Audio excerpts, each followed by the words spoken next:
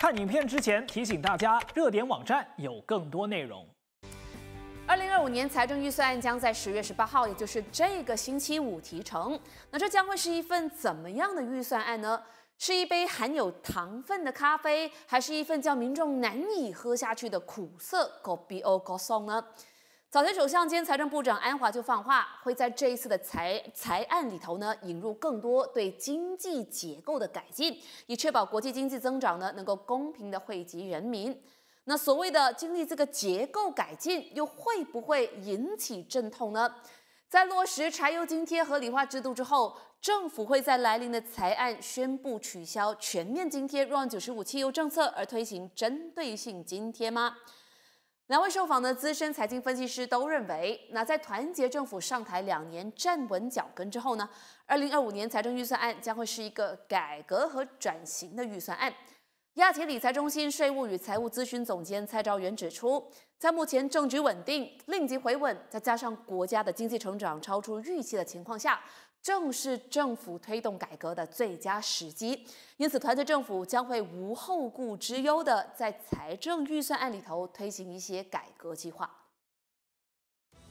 我想这一次的预算案将会是一个改革型的预算案呢。那么团结政府上台了两年之后呢，基本上我想他现在是。站在一个非常好的处境，可以来推行各项改革。最主要呢，就是目前整个政局都非常稳定，然后团结政府也在过去几次普选基本上大胜，再加上我们的 GDP 呢，过去第一季跟第二季都有超越预期的这个成长，再加上大家都知道这个令吉强力的这个反弹，再加上股市也一片大好，所以在这种情况之下，我想。这个团结政府，它基本上是没有后顾之忧来推行或者是加速整个国家的这个改革。亚协理财中心税务与财务咨询总监蔡兆元在接受八点四日报的访问时指出，现在是团结政府进行改革的最好时机，政府也不会有太多后顾之忧，因为就算改革的过程中会带来阵痛，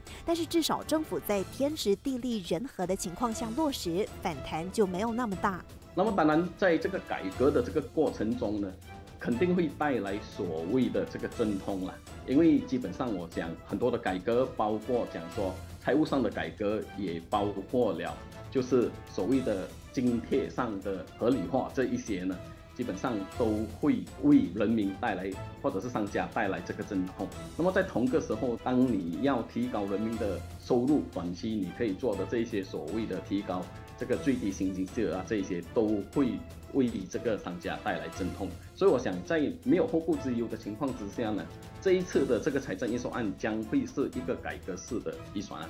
蔡兆元认为，二零二五年财政预算案是个改革的预算案，而新资金投资创办人张国林也认为，这会是一个加速我国转型的预算案。他指出，这两年来政府积极招商引资，趁着外资进来，马币回稳，那政府就可以真正开始落实我国的转型计划。它的主题是国家繁荣，人民。幸福，而且刚好配合到马来西亚这一两年来呢，很多外来直接投资、本地直接投资，所以我觉得一个转型的时代，所以我觉得呢，他应该会关注两个，就是说，哎，趁着这个要转型，有外资进来，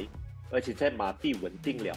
所以应该是有一些政策呢，怎么去鼓励比较高增值的行业，怎么去鼓励培养这个人才，因为毕竟人才还是很短缺，尤其是。高科技的人才。不管国家经济要转型或改革，两位受访者都认为，当中最迫切的是已经在实行当中的津贴合理化制度。那政府会不会在这次的财政预算案当中就公布落实 RON 九五汽油的合理化津贴政策呢？张国林和蔡兆元都认为，减低 RON 九五汽油津贴是势在必行，因为单单这个津贴就已经耗了两百四十五亿令吉。如果能够省下一半或至少一百亿，那么自然就能够减低。国家的开销和赤字，汽油补贴相信会，不过它应该是会逐步了，不可能一下子全部免掉，可能会逐步，然后也会想办法怎么去补贴一些需要帮助的人，因为毕竟的话，我们财政赤字还是居高，而且很多不同的营运开销，你看，因为你你平时要平衡嘛，公务员的工资是太低。虽然他这次是调了百分之七到百分之十五，这个钱从哪里来？第一，可能就要从减低这个津贴，所以我们应该是减低这个柴油的补贴，食物就尤其这个鸡鸭蛋的补贴。我觉得柴油是一个很大的一块，但问题是说怎么逐步的去减低它。我想他们应该会比较在财政预算案里面推行一个所谓的 RON ninety five 重组的路线图，让人民跟商家呢有更好、更多的时间去做更充足的这个准备。那么一般预计呢，真正的飞行的日期呢，应该会是在明年第一季跟第二季。蔡兆元认为，所谓开源节流，在想办法增加我国国库收入的同时，减少开销也是重要的一环。因此，预料政府除了会在明年的财政预算案里公布 RON 九五津贴的重组路线图，同时津贴合理化政策也应该会扩大到其他的领域。我想，整个合理化津贴呢，不只是在于 RON ninety five，基本上呢，将会是。全部的柴米油盐现在有津贴的呢，政府我想都会一次过尽量的去调整。那么在之前都提过，就是鸡蛋如果有充足的这个供应的话呢，基本上我们都能够让它回归市场价。那么从这一点呢，我们从鸡肉回归市场价，政府可以省下十二亿的这个费用呢，基本上我想这一些都是可行的。包括其他的柴米油盐啊、白糖啊、白米啊，这一些都是政府在整个合理化经济这个路线图呢，将会涵盖在内的。蔡兆元指出，那虽然每一年的财政预算都希望可以做到开源节流，不过如果我们要增加一百亿的收入，基本上是相当困难的。但如果我们能够合理化津贴的话，要省下一百亿，他个人觉得比较容易。然后在同一个时候，怎么样把每一分钱都花的物有所值，不会浪费，没有贪污和被滥用的情况，这也是政府必须关注的事。那在这一次的财政预算案里头，还可能会增加哪一些新税收呢？这就要留守明天的专题报道了。